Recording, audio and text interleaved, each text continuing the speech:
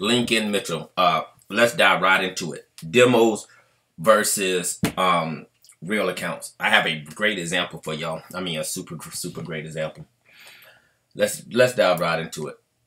This is a this all these are going to be on the same position.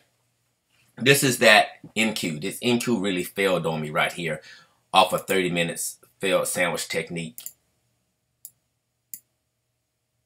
Well, it didn't feel real bad, but I entered it wrong, so I, I'm going to blame that one on me. This sandwich technique was supposed to go up here and knock that out. But as you can tell, it failed horribly. this fuck, this damn thing went way back against me. Same way with this hour. The pullback on the hour was just too devastating for me. Now, how does that play to a real account versus a fake account? I'm going to pull up my Top Step account. I'm going to pull this one up first. This is Top Step Trader right here, Combine. This is a real Combine. As you can see, my daily loss is already at $350. And we're going to focus right here. Do you see this? I am negative $190 off that trade alone. That is on the Top Step program.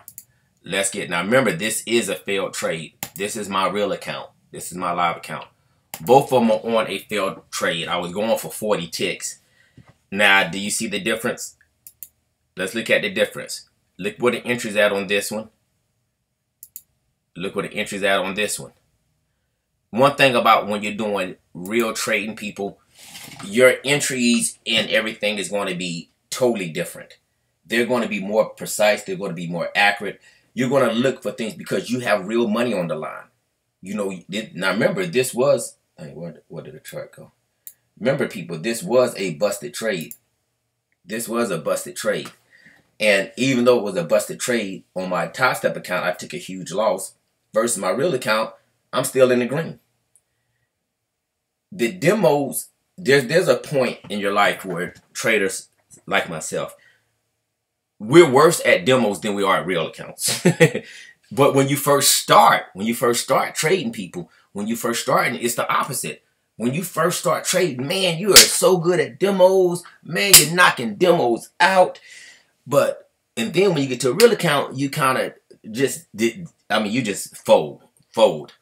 Now it flips around when you get to your real. Once you get older and you know a little bit more seasoned in this, it does the opposite because what happens is when you're running both of those accounts, the one that's fake money, you're not going to show that much attention to.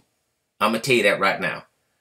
Now my price for this is uh seven uh 74.80. That's what I got 74.80 on this one. so it failed. As you as you tell, I scaled it out. Versus this one, you know, you can kind of let it ride and still make more mistakes. So, I mean, it is what it is, but you're going to get to that point, people. Trust me, I'm telling you. You're going to get to that point where your demos are really, really, really hard to trade anymore. And your real accounts are more easy to trade because you know what's on the line. You know what I'm saying? You know exactly what's on the line. So I'm going to take care of my uh, real account way more than our demo. And that's one of the reasons why it's so hard uh, to for me to pass Top Step because I know it's fake money.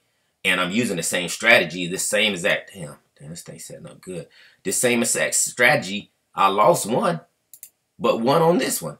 You know? But uh, anyway, I'm going to cut this short because this is setting up. All right, bye.